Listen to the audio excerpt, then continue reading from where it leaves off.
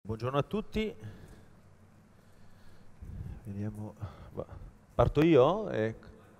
Un momento. Beh, intanto, sì, intanto che eh, la presentazione, mi sentite?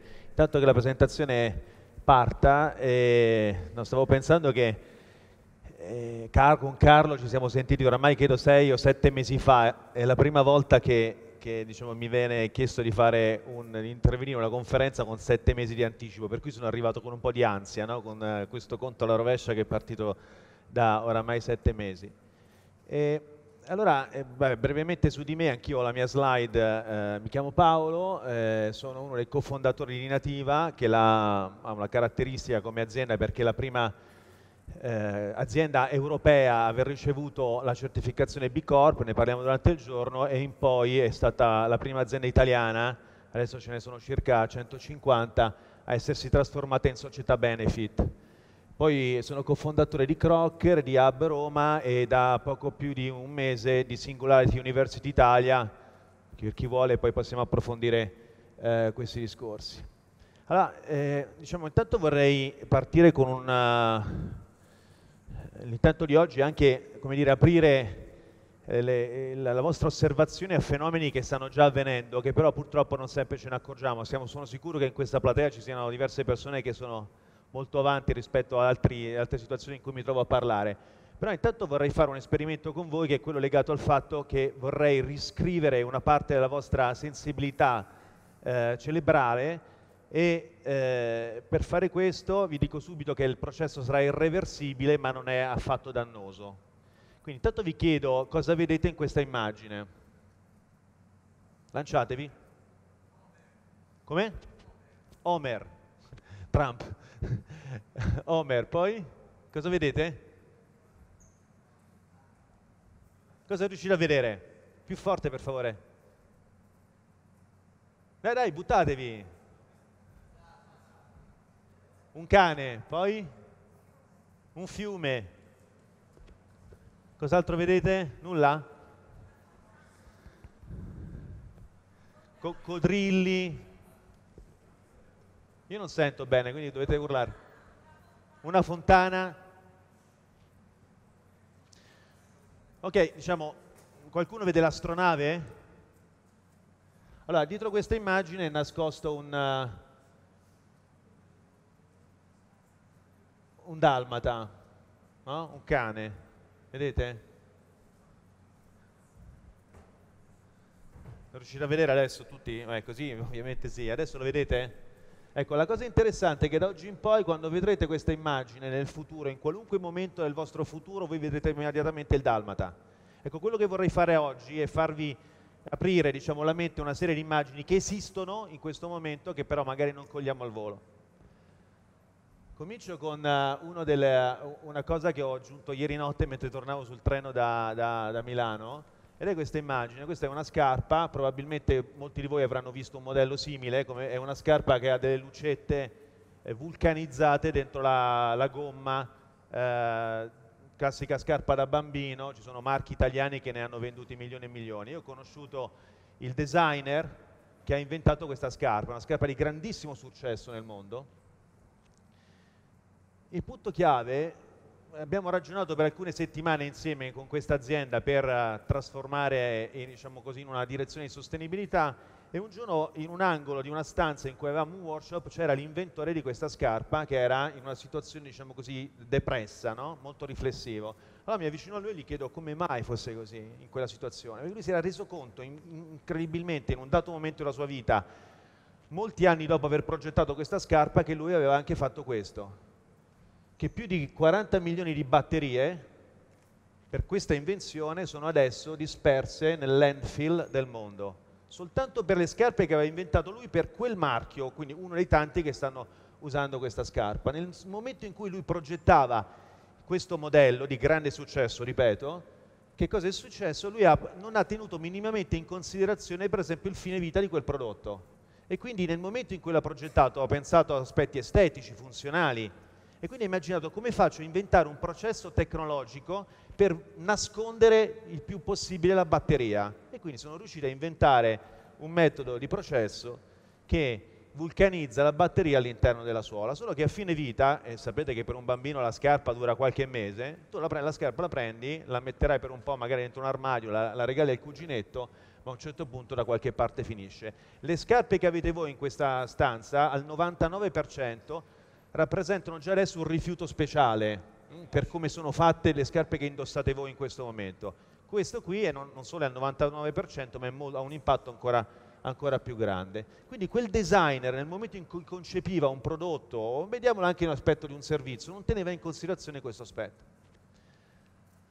Allora l'80% degli impatti di un prodotto, di un, di un servizio vengono decisi nella fase di design.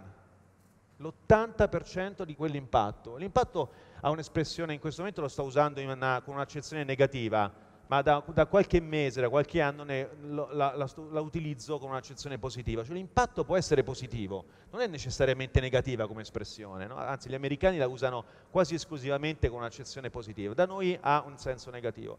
Ecco, immaginate che l'80% del, dell'impatto di un prodotto o di un servizio, positivo o negativo che sia, viene deciso da un designer nel momento in cui progetta e concepisce quel prodotto. Però quel designer deve considerare che lui non si trova in un ambiente, diciamo così, isolato, ma si trova sul pianeta Terra. Una delle cose che ho imparato nella mia vita più importanti, ma veramente più importanti, e chi, Carlo, eh, ne abbiamo parlato anche qualche anno fa, è una delle cose che mi ha cambiato la vita, ed è quasi banale, e cioè sapere, o meglio, realizzare, concepire, avere sempre davanti a me sotto controllo il fatto che la Terra è un sistema aperto per energia, ma è chiuso per materia sono due parole molto semplici. L'energia, il Sole arriva sulla Terra. Per materia vuol dire che la stessa materia che esisteva 4 miliardi e mezzo di anni fa sulla Terra, quando è nata, diciamo, dopo il, il Big Bang, è la stessa che, che, che, si trova in questo momento sulla Terra, a meno di qualche meteorite che ha colpito, come sapete, durante la sua lunga vita la Terra o di qualche satellite che abbiamo mandato fuori dalla, dallo spazio, nello spazio. È la stessa materia.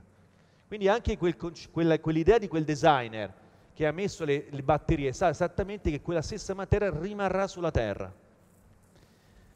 Allora noi quando eh, anche nella mia azienda ci troviamo a progettare nuove aziende o lavorare per aziende che esistono per essere diciamo noi a prova di futuro, gli spieghiamo a tutti i designer che loro si trovano esattamente sulla Terra, che è esattamente equivalente alla stazione spaziale orbitante. Non c'è differenza. Questa, questo questa fantastica invenzione dell'uomo è aperta per energia ed è chiusa per materia. Quale designer avrebbe mai potuto concepire la scarpa che abbiamo visto prima all'interno di questa astronave? Nessuno. Siete d'accordo? Perché doveva concepire un prodotto che avesse magari il ciclo chiuso, no? che non avesse quindi un impatto a, a fine vita. Ecco. Allora, è la stessa cosa è progettare quindi una scarpa sulla Terra come all'interno di un'astronave perché il sistema è chiuso. Questa è una foto vera, è un campione, più grandi campioni di, di, di surf del mondo, sta surfando vicino Bali e guardate in quale onda surfa. Eh, in questo momento c'è più plastica negli oceani che sulla terraferma. Questo è un dato scientifico che è il risultato di una ricerca condotta negli ultimi anni, c'è più plastica nello, negli, nei mari, negli oceani che nel, sul te, sulla, sulla terraferma. Questo è quello che hanno trovato gli elementi chimici non eh, diciamo, pre preesistenti che hanno trovato nel latte materno di una donna nordamericana e ce n'è a molti di più di quanto non ne avesse sua madre. Quindi questo è, è ancora una volta un sistema chiuso. Queste sono le mie due figlie, è una foto di un paio di anni fa, eh, non so chi di voi ha figli, può alzare la mano per favore? Ok, io eh, dobbiamo calarci nel tempo oltre che nello spazio come abbiamo fatto fino adesso. Nel tempo io dico provate a immaginare, a calcolare in che anno i vostri figli avranno la vostra età di oggi. La domanda è un po' contorta. In che anno i vostri figli, o immaginate di avere un figlio tra un paio d'anni, in che anno, per chi non ce l'ha, avrà la, la vostra età di oggi? Io ho 46 anni, eh, Alice la più grande ne ha 13, quindi più o meno nel 2048 mia figlia avrà la mia età di oggi. Okay? Questo mi aiuta molto spesso sentiamo dire, anche prima abbiamo sentito qualcosa sui Sustainability Goals delle Nazioni Unite, 2030, 2040, sembrano proiettati nel futuro in un tempo lontanissimo. Ecco, mia figlia avrà la mia età di oggi e quindi una grande consapevolezza di cosa significa avere la mia età nel 2048. Questo mi avvicina brutalmente a quegli anni e tutti quindi gli obiettivi che, di cui sentiamo parlare spesso nella, nostra, nella, nostra, vita. Eh, perché è importante questo? Perché questo è un B-52 che è stato volato diciamo, nella seconda guerra mondiale, quindi diciamo nel 1942-43 per la prima volta, Ecco, il punto chiave è che 50 anni prima, nel 1900, non c'era nessuna persona al mondo che potesse immaginare l'esistenza solo dopo qualche anno, quindi quando mia figlia avrà la mia età di oggi, che questa cosa avrebbe mai potuto volare. Allo stesso modo, questo è un oggetto che avete tutti quanti. Voi sapete in che anno è stato lanciato questo oggetto? Chi lo dice? 2007, ottimo. 2007. Oggi questo oggetto è, non so se avete mai visto questa foto, ma qui sopra è l'elezione di Papa Ratzinger, città del Vaticano 2005, c'è un Motorola, mi pare di riconoscere lì a sinistra, quando, a destra, quando invece è stato eletto Papa Francesco, questa è la foto nello stesso punto di Via Conciliazione a Roma, no? per dire anche l'impatto esponenziale, con un'accelerazione esponenziale che stiamo avendo. Infatti eh, eh, gli esponenziali sono dei temi che eh, anche un designer deve tenere assolutamente in considerazione. Guardate questo, questa è, è la, diciamo, la, madre degli esponenziali e la crescita della popolazione terrestre. Ci è voluto 3,8 miliardi di anni per avere il primo miliardo di esseri umani sulla Terra. Ci sono voluti poi 123 anni per raggiungere il secondo miliardo, leggete con me 33 anni, 12, 15 anni, 13 anni, 12 anni e ancora 12 anni. 31 ottobre 2011 siamo arrivati a 7 miliardi, adesso siamo su 7, quasi 5 miliardi, molto vicini. Ecco, la cosa interessante di questo numero, ancora le, di questi numeri se li guardiamo, io l'ho già detto la, la mia età, sono nato nel 70 e nel 70 la popolazione terrestre era la metà di quella di oggi, 3,4, quindi ancora meno della metà, miliardi di abitanti. Un'altra riflessione, mio padre è nato nel 32, guardate qui, era un terzo di quella di oggi. In due generazioni abbiamo triplicato il numero di abitanti sulla faccia della Terra. Quindi anche in questo senso è uno dei vincoli, è una delle condizioni al contorno che dobbiamo assolutamente tenere in considerazione. Andiamo rapidamente verso i 9,5 miliardi di abitanti che verrà intorno al 2040 e abbiamo visto quanto è distante il 2040 da oggi. E un altro dato che vi voglio far vedere, questo di Economist, fa vedere tutto ciò che l'essere umano ha prodotto nei 2000 anni, di, di, negli ultimi 2000 anni diviso per secoli. Vedete l'istogramma nero, quindi primo, primo, secolo, secondo secolo, e vedete come nel XX secolo l'essere umano ha prodotto il 55% di tutto quello che ha prodotto sua, negli ultimi 2000 anni. 55%, questo è un esponenziale. Guardate però il ventunesimo secolo il cui conteggio è fermato ai primi dieci anni. L'essere umano nei primi dieci anni del ventunesimo secolo ha prodotto quasi il 24% di tutto ciò che ha prodotto nella, negli ultimi duemila anni. Quindi che significa? Che se ci proiettiamo a fine secolo avremo una ridistribuzione di questi istogrammi e possiamo immaginare come sfonderemo anche il soffitto di, di, questa, di questa struttura sono esponenziali. Noi siamo, con voi non c'è bisogno di usare metafore particolari, sono sicuro, ma i popcorn spesso aiutano no? come, come, idea a parlare di esponenziali. Il 95% del tempo non succede nulla, nell'ultimo 5% del tempo esplodono i chicchi di mais e, e avviene il 95% del, del, del processo. Uh, un esponenziale, io sono un ingegnere, ho, fa, ho studiato varie cose durante, in particolare l'università, che aveva a che fare con con, eh, con, gli esponenziali, però non li avevo capiti. Mm. Non li avevo capiti. Li avevo capiti veramente perché la mente umana funziona scientificamente parlando in forma lineare, su modelli lineari, quindi non siamo in grado di capire cosa è realmente un esponenziale. E anche per questo non, ha, non abbiamo cura dei trend che stanno avvenendo in questo momento. Se io ho un foglio di carta, so, ce l'avete più o meno tutti nelle vostre borse, di 1-2 mm, lo piegate una volta su se stesso avete raddoppiato lo spessore, giusto? Se lo piegate 40 volte, quanto diventa alto il foglio di carta? 40 volte. Potete urlare una risposta qualunque, di getto. Quindi?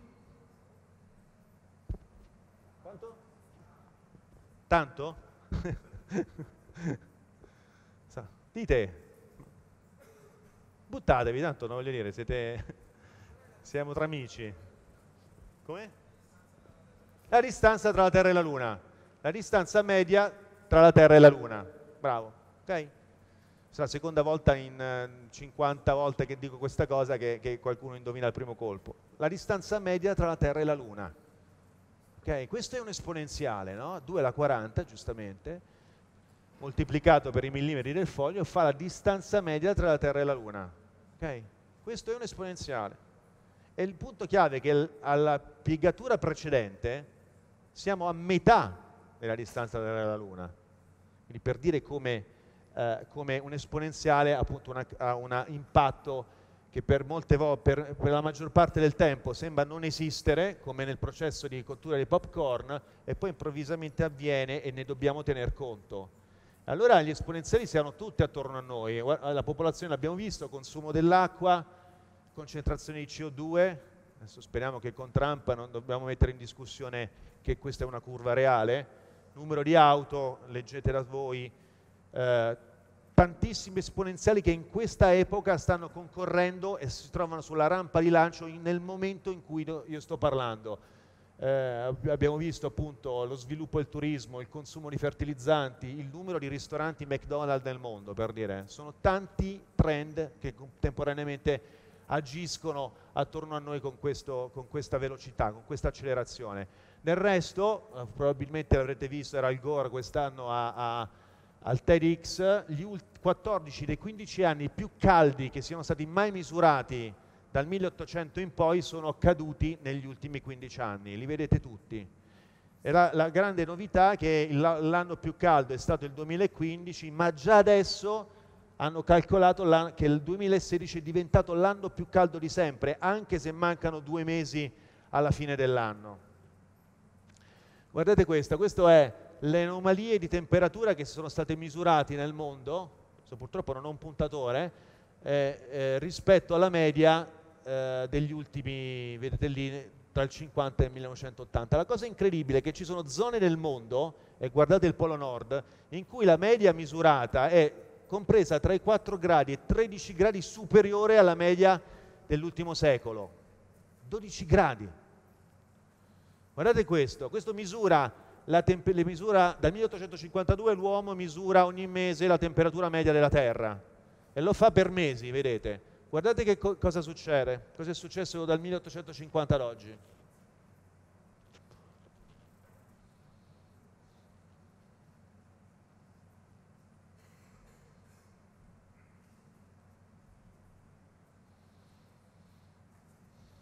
Guardate negli ultimi anni. Questo arriva a marzo del 2016, già sappiamo che, che è stato il, il marzo più caldo di sempre, così come anche il febbraio. Anche aprile, maggio, giugno, luglio, agosto, settembre, ottobre sono stati i mesi, più, i, i mesi, come li ho nominati, quindi gennaio, febbraio marzo più caldi da quando l'uomo misura questa temperatura, cioè dal 1850 circa. E quindi, anche per questa ragione, a dicembre dello scorso anno c'è stato un consenso generale e alla conferenza COP21 di Parigi c'è stato il famoso accordo che è firmato da quasi 190 stati nel mondo in cui ci si è detti, ci si è impegnati, adesso ci sono le ratifiche in corso in vari paesi, a affrontare questo problema e a mantenere la temperatura, quindi con azioni specifiche, a mantenere la temperatura media eh, rispetto ai numeri che abbiamo visto inferiore a 2 gradi centigradi. Questa è una notizia fantastica. Noi abbiamo seguito da vicino quello che è avvenuto a Parigi, no? Anche se il risultato non è stato eh, diciamo così, quello assolutamente sperato, però è una notizia fantastica perché eh, qualche, solo qualche mese dopo sono stato invitato a Stoccolma a febbraio in una riunione in cui erano invitati 150 business leader del mondo. Io non sono un business leader, ero lì per facilitare un tavolo di lavoro. Al mio tavolo c'era il presidente di Unilever, del più grande cementificio d'Europa e così via. E c'era Johanna Rockstrom, questo scienziato che eh, tra l'altro se qualcuno ha visto il film di Leonardo DiCaprio, il documentario di qualche settimana fa, qualche giorno fa c'è anche Rockstrom, è uno degli scienziati che ha permesso il raggiungimento dell'obiettivo di, di Parigi. Eh, Rockstrom dice una cosa fantastica, dice, dice nel 2040 noi vivremo in una società decarbonizzata e lo ha detto davanti a questi business leader, oltre al re di Svezia che, è una di queste, di queste, di queste immagini. E, e, quando ci siamo trovati a discutere dopo questa lezione, no? dopo questa, questo input fornito allo scienziato, con tutti i business leader al, nei tavoli di lavoro dovevano trovare delle azioni che come aziende si impegnavano a fare in questi anni per raggiungere quell'obiettivo che abbiamo visto, 2040 di Carbonized Society. E la cosa incredibile che è emersa è che sì, c'erano grandi idee intelligenti, ma l'idea comune a tutti i tavoli, a tutti i tavoli, in tutti i tavoli, è stata quella dobbiamo assolutamente investire nell'education, dobbiamo andare nelle scuole a parlare con le, con le nuove generazioni, a insegnare, spiegare questo concetto. Che come pensate? All'inizio diciamo, beh, bella idea, poi riflettendoci però, è anche la più clamorosa mancata opportunità di assunzione di responsabilità. 2040 mia figlia sarà forse, sì, sarà certamente lavorando, ma forse sarà, diciamo così, non è sicuro che sarà classe dirigente. La classe dirigente che permetterà di raggiungere questo obiettivo è quella, è quella che era quel giorno all'interno di quella stanza. Perché quello che dice Rockstrom è che per raggiungere questo obiettivo noi in realtà Abbiamo sì 23 anni e mezzo per arrivarci, che non sono tanti, ma nello stesso tempo possiamo renderlo possibile soltanto con le azioni che faremo nei prossimi 5 anni. Quindi invece di insegnare alle scuole, oppure dobbiamo certamente preparare le nuove generazioni con questi concetti, ma allo stesso tempo sono quei business leader che devono darsi da fare, perché la società, che è la parola probabilmente più interessante in questa slide, dovrà cambiare notevolmente volevo mettere un'immagine per come sarà società, eh, una società decarbonizzata. Ovviamente non esiste perché abbiamo miliardi di gradi di libertà per raggiungere questo obiettivo, questo titolo che io penso sia meraviglioso. Ho trovato questa immagine di Parigi nel 2040 che può essere simpatica. Cosa, eh, qualche settimana prima di, di Parigi Papa Francesco, eh, io non sono religioso, ma è libro, la prima enciclica della mia vita che ho letto per motivi tecnici, perché è un testo tecnico in cui uno dei punti principali anticipava questo concetto del, della Decarbonized Society che potete leggere. Subito dopo Parigi sono successe delle cose straordinarie. Vabbè, non riesco a non far vedere ogni tanto una Tesla perché, come me, immagino molti di voi, sono un appassionato uh, uh, follower diciamo, di Elon Musk. Però quello che ha fatto quest'uomo è stato quello veramente di rendere possibile una cosa che era che, eh, che, diciamo che molti di noi abbiamo pensato, ma certo c'è già una soluzione, no? Le prime auto erano elettriche, non, erano, non avevano il motore a scoppio. E, e continuo a fare un casino con i pulsanti, e, e, però il punto chiave è che dobbiamo cambiare completamente mentalità. Io credo che sia questo l'insegnamento di Elon Musk, il primo insegnamento. Qui ho queste immagini in cui si vede che c'è un problema, come vedete è caduta un'auto in un porto e l'uomo, l'essere umano, applica un processo per risolvere questo problema. Prende una gru, eh, quindi grande problema, grande soluzione, la solleva, però eh, che succede? Che potrebbe non essere sufficiente quella soluzione. Allora l'uomo che fa con l'approccio lineare di cui abbiamo parlato prima? Il problema è più grande, prende una soluzione più grande. Qual è la prossima slide? Bam! Photoshop questa.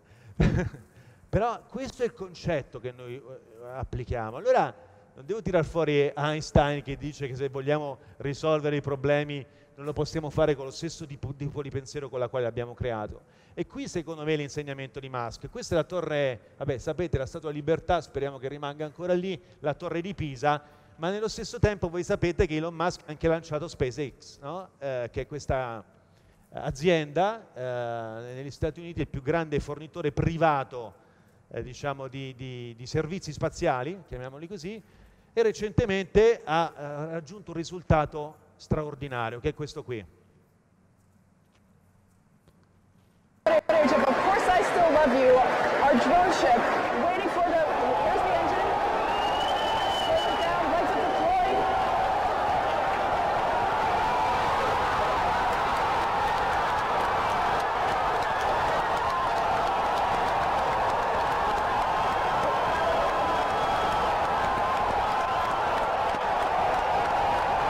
quello che ha fatto è ha fatto atterrare la torre di Pisa, più o meno, avete visto le altezze, o la Statua della Libertà su una piattaforma in mezzo all'oceano, tra l'altro con, uh, non so se avete fatto caso al nome della piattaforma, ma, ma è simpatico, e, e dopo aver lanciato un razzo alcuni satelliti nello spazio, quindi rendendo riutilizzabile uno degli elementi di costo maggiore in una missione spaziale. Quanti di voi avevano visto questo video? Okay? Non l'hanno visto tutti, questa è una cosa straordinaria, pensate all'insegnamento.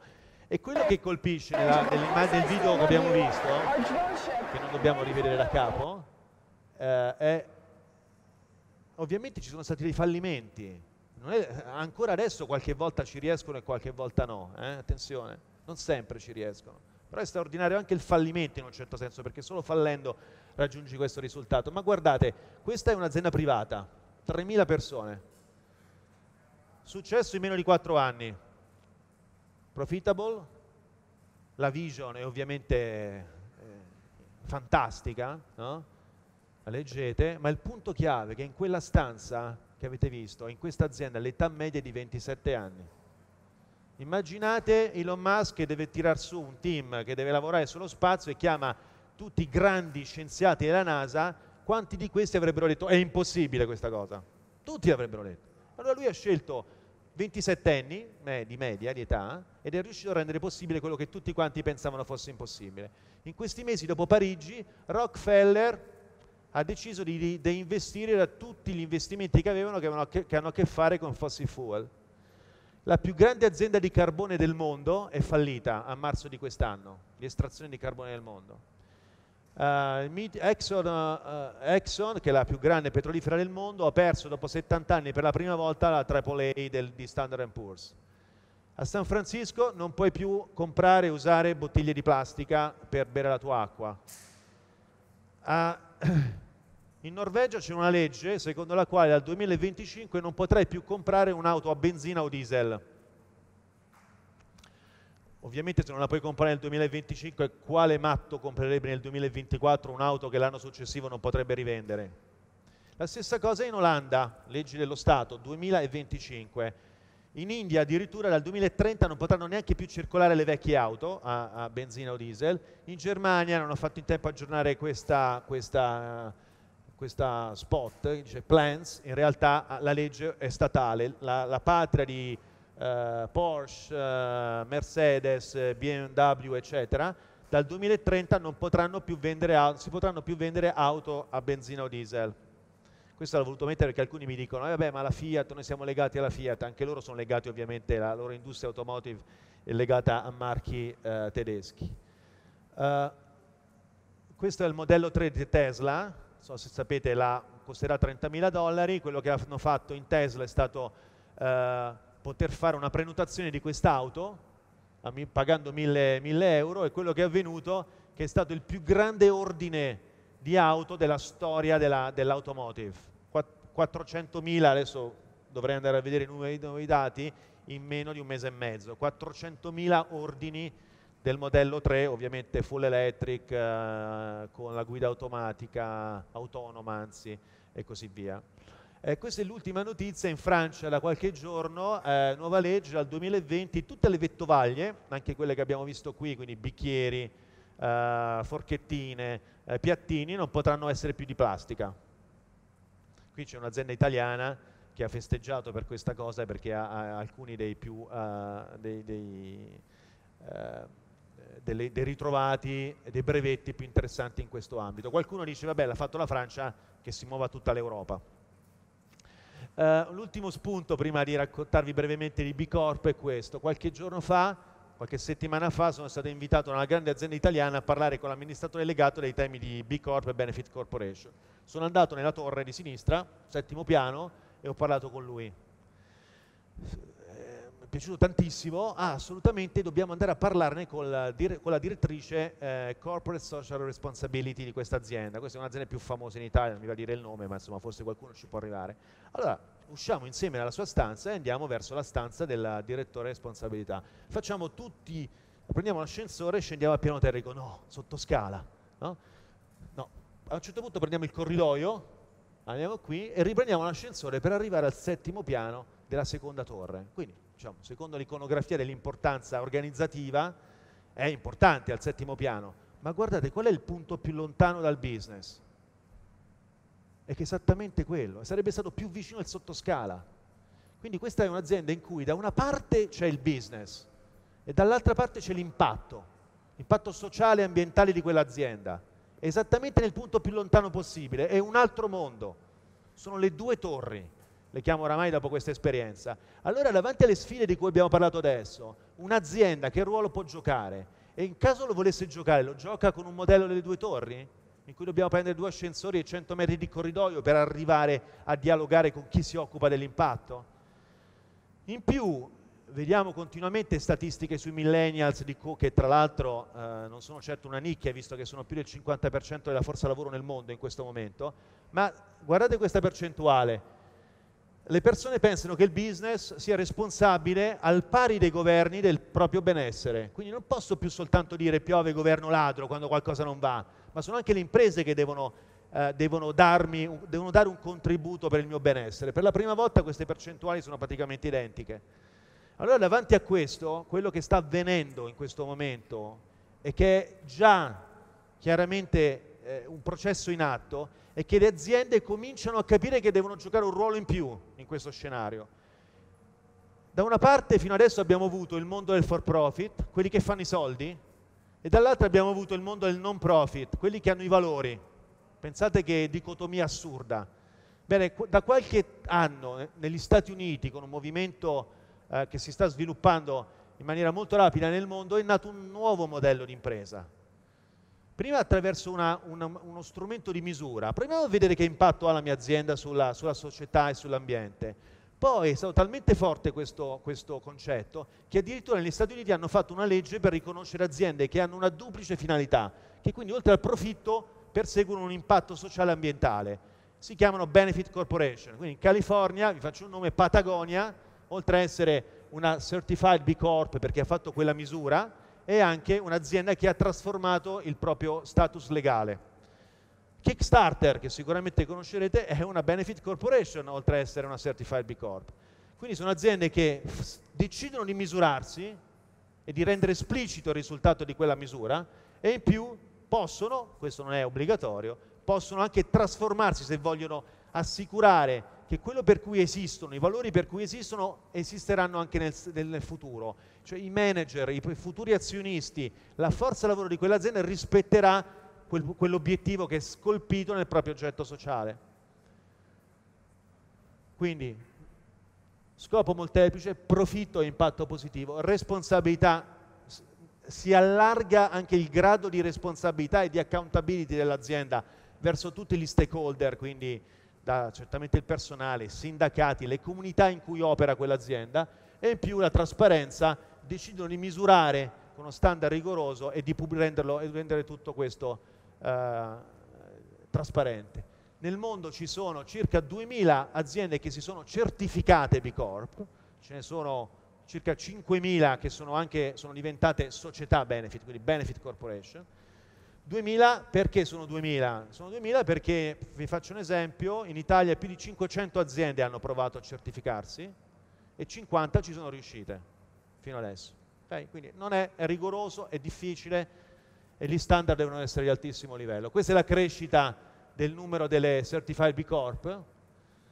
Uh, qualche mese fa, a maggio, avuto, siamo stati intervistati, uh, io e il mio socio Eric, uh, in una puntata di Report, in cui la Gabbanelli per la prima volta ha detto una cosa positiva rispetto a un concetto, come vedete in questa foto che ho voluto immortalare, e abbiamo avuto il giorno dopo migliaia e mil- dal giorno dopo, dalla notte stessa, migliaia e migliaia di contatti, telefonate, mail di tutti i tipi. Noi veramente siamo stati, non eravamo minimamente attrezzati per, per sostenere questa botta di energia clamorosa eh, incluso eh, telefonate da amministratori legati di aziende internazionali che hanno sede in Italia, per dirvi, no? quando mai tu consulente ricevi la telefonata da quello che potrebbe essere un tuo cliente, no? è sempre un po' il contrario. Questo per dire che veramente sembra che sia giunto il momento, eh, ed è forte questo momento, eh, è, è talmente forte solo come se appunto per quell'idea fosse giunto il vero momento di esistere. Uh, vado avanti su alcuni aspetti, visto che mi fanno segno che più di 50.000 aziende nel mondo, io ho detto 500 in Italia, nel mondo sono 50.000, hanno provato a misurarsi con questo strumento che è totalmente gratuito e online, e, c- e 2.000 circa hanno avuto una pagella sui vari aspetti di analisi che supera il livello minimo di 80 punti. Sì, per certificarsi c'è un livello minimo, come dicevo prima, si arriva tra 0 e 200 punti, dove 200 è il massimo, fai il tuo assessment e vedi a che punto ti trovi. Quello che abbiamo capito in questi anni di applicazione e anche di, di, supporto a alcune aziende è che 80 punti è un po' come se fosse un total break-even. No? Il break-even spesso consideriamo soltanto quello economico uh, beh, o finanziario. Bene, in questo caso 80 punti tiene in considerazione l'impatto di quell'azienda. Allora se tu sei sotto gli 80 punti, in fondo la tua azienda, la tua idea di business sta prendendo più di quello che restituisce. Se invece sei sopra 80 punti vuol dire che questo, questo break-even è raggiunto. Allora noi diciamo che stai distruggendo valore se sei sotto gli 80 punti e quelli di quelle 500 aziende italiane, 450 hanno uno score sotto gli 80 punti, mentre invece lo stai realmente creando se hai sopra questo punteggio. La cosa interessante è che di queste 450 aziende più della metà adesso hanno deciso di mettere in piedi dei piani per superare nei prossimi anni e quindi usare questo concetto anche come eh, stimolo al miglioramento. Questo è Schiller, che è premio Nobel dell'economia, che dice hanno uno doppio scopo, come dicevo prima, le, le B Corp o le Benefit Corporation e avranno un vantaggio maggiore delle altre, dei risultati migliori.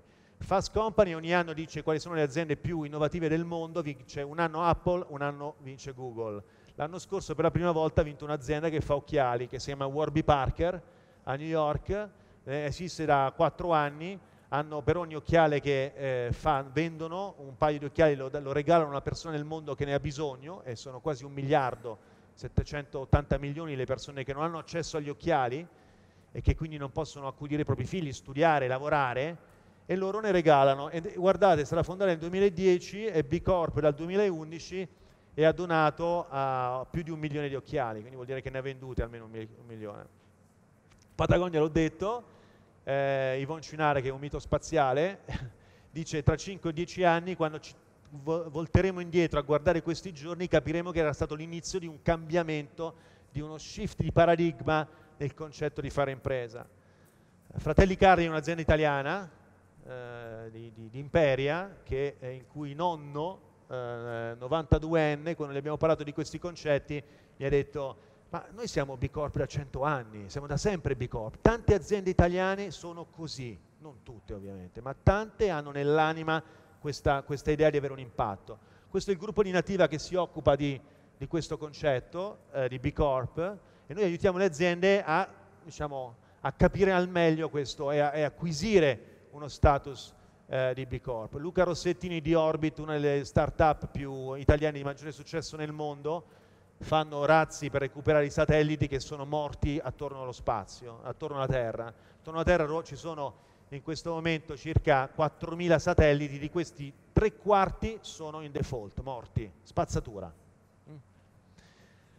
Unilever, un mostro, una multinazionale, Pullman, è il nuovo da un paio d'anni amministratore delegato, ha cambiato molte cose in azienda, quello che ha fatto è acquisito un'azienda in America, Ben Jerry's, gelati, californiani hippie, eh, che è una B Corp, una Benefit Corporation, questa azienda prima di essere acquisita si è trasformata in una Benefit Corporation, proprio per proteggere all'interno del proprio statuto i valori che avevano anche determinato il loro successo, così che la multinazionale non potesse modificare gli aspetti chiave di quell'azienda. Beh, Polman non solo non può modificare, lui ha accettato appunto questo concetto che ha deciso che da adesso in poi tutte le aziende del gruppo dovranno trasformarsi in una B Corp.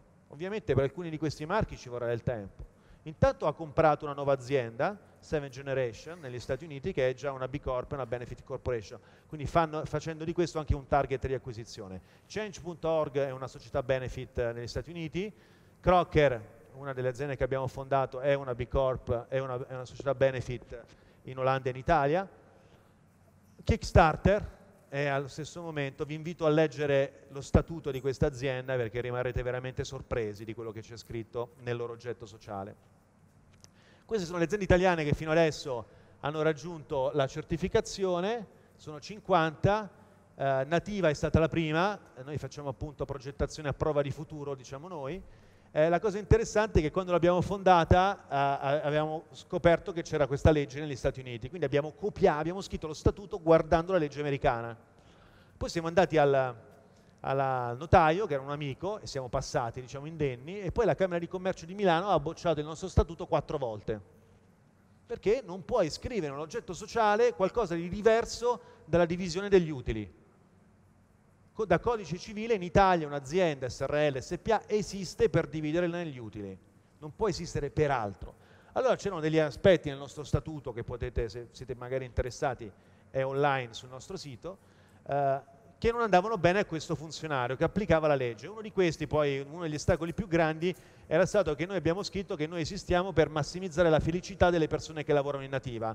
Ovviamente è un oggetto che può, anche, anzi sono contento che qualcuno sorrida perché felicità dobbiamo sorridere, ma noi misuriamo con un metodo tra l'altro scientifico tedesco, questa cosa forse fa ancora più ridere, che ogni tre mesi per vedere se abbiamo dei, dei, delle aree su cui dobbiamo lavorare. Beh, felicità non andava bene, allora siamo stati rejected, non potevamo scriverci la felicità. Nella tua azienda tu non lo puoi scrivere felicità nel tuo statuto.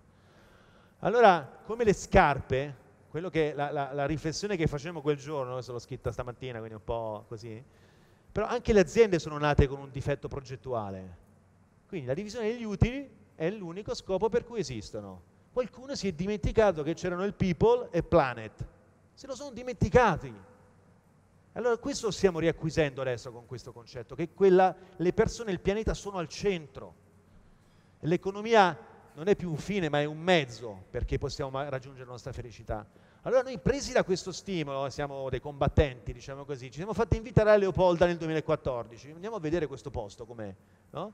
E ci hanno dato un tavolo e abbiamo cominciato a parlare di B Corp, eh, società benefit, no? E allora eh, senatori, medici, fruttivendoli che trovi in quella stanza, devo dire un'esperienza personale molto positiva, e dopo qualche mese, grazie, abbiamo creato un gruppo di lavoro e abbiamo scritto, insieme a un senatore, il disegno di legge sulle società benefit in Italia. Abbiamo detto una legge negli Stati Uniti, prima o poi sarà così anche in altri stati del mondo. E allora ho detto, proviamo a fare dell'Italia il primo Stato. Questo è l'articolo numero uno, duplice finalità, società benefit, che nell'esercizio di un'attività economica, oltre allo scopo di dividere negli utili, come vi ho detto dal codice civile, perseguono una o più finalità di beneficio comune operando, eccetera, eccetera. Tu devi scrivere uno soggetto sociale il beneficio comune che intendi perseguire. Vi faccio un esempio, c'è un'azienda che assume soltanto donne single madri, che è un problema sociale evidentemente, no? l'essere di trovarsi in una difficoltà economica davanti a una situazione di questo genere. E c'è un'azienda che assume soltanto donne single madri. Questo lo farà per sempre finché qualcuno non cambierà l'oggetto sociale, ovviamente. Beh, la cosa incredibile è che il 21 dicembre siamo diventati il primo paese al mondo, al di fuori degli Stati Uniti, a avere una società benefit come modello legale. Quindi se fate una startup, fatela già adesso così, incorporatela come una società benefit. E quello che sta avvenendo adesso, che in pochi mesi, pochissimi mesi, non c'è un registro ufficiale, ma abbiamo avuto notizia di quasi 200 aziende che o si sono trasformate o sono nate come società benefit. Quindi finalmente siamo tornati dal, dal, dal, dal, notaio e siamo stati finalmente approvati per il nostro obiettivo. Queste erano le B Corp di prima, alcune di queste lo vedete cerchiate, sono anche società benefit. Questo è un signore, eh, Riccardo Sabatini, che ha visto il TED di Vancouver di quest'anno, cioè il TED quello ufficiale, era l'unico italiano sul palco, vi invito a vederlo perché è straordinario quello che fa vedere. E lui, quando abbiamo parlato di B Corp, il nostro amico, ha detto l'idea di B Corp è così ovvia che il contrario suona sospetto. Come può esistere il contrario di una cosa del genere? Allora... Noi abbiamo un sogno, che un giorno tutte le aziende competano non solo... Poi, ecco, questo c'è il video veramente un minuto sulla, su, che abbiamo realizzato sulla... No, forse Noi lo devi lanciare un sogno. Vediamo?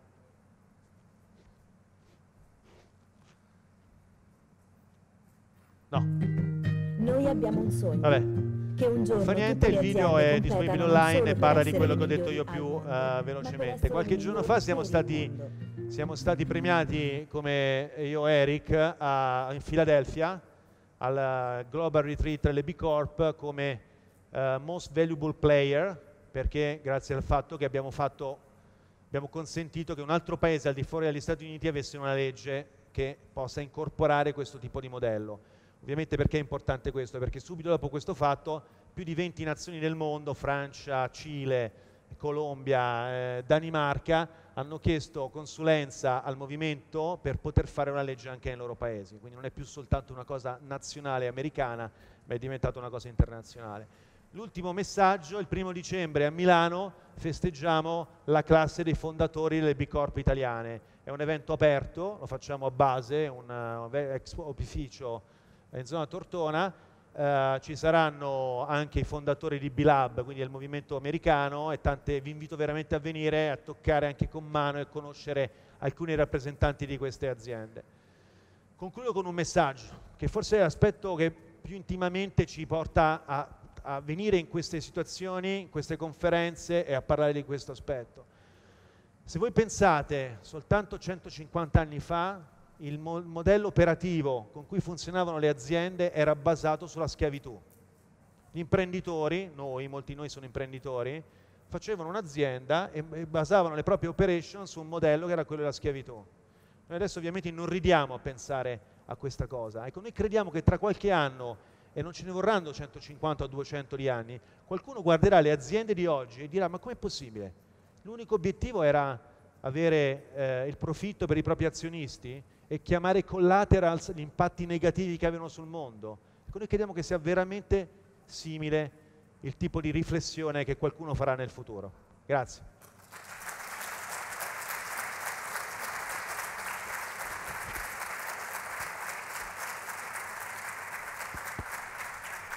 Sassa? Sì, ci siamo.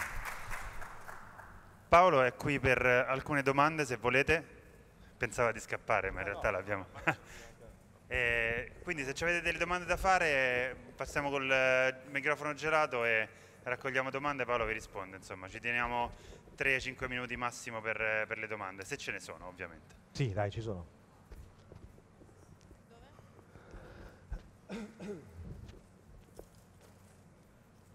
Questa è facile. Che scarpe indossa? Ah, allora, le scarpe le abbiamo progettate qui, eh, guarda, non, non eravamo d'accordo, ma queste sono scarpe che Nativa ha progettato per una grande azienda italiana, eh, si chiamano New Do, quindi un nuovo fare, e sono scarpe, non so se sono le più sostenibili al mondo, ma eh, in questo caso magari esteticamente possono essere migliorate, diciamo così, ma anche se mi piacciono anche come sono fatte, e sono scarpe che hanno, sono nate con quello stesso designer di cui vi ho parlato all'inizio, che però fin dalla fase di progettazione ha applicato alcuni concetti di life cycle, per esempio, e quindi sono scarpe che, sono, che a fine vita possono essere buttate dalla finestra. Esatto, sì, diciamo così. In realtà il punto chiave è che eh, l'azienda si chiama Geox, il fondatore di quell'azienda e l'amministratore delegato hanno deciso New Do, di cambiare completamente il modo, il modo in cui progettano le loro scarpe e i loro prodotti. Sembra che eravamo d'accordo. Curiosità? Vabbè, io comunque sono qui oggi, se volete eh, parlo volentieri con tutti. Grazie. Grazie Paolo.